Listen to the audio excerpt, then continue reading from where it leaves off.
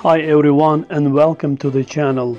In this video we will be talking about Manchester United latest transfer. So Manchester United have signed Porto left back Alex Telles.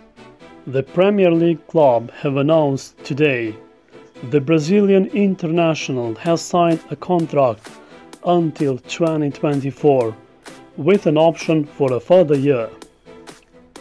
The Old Trafford club are also said to be closing in on a deal with Uruguayan striker Edinson Cavani, who is available on a free after leaving PSG.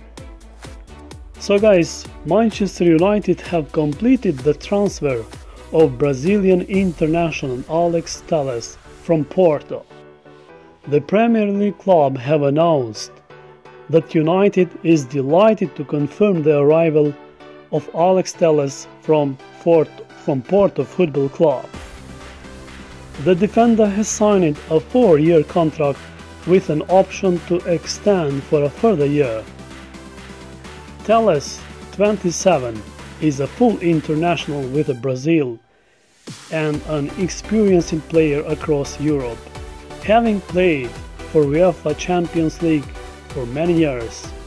Over the past five seasons with Porto Football Club, he has scored 26 goals and registered more than 50 assists. So thank you for watching this video, subscribe our channel.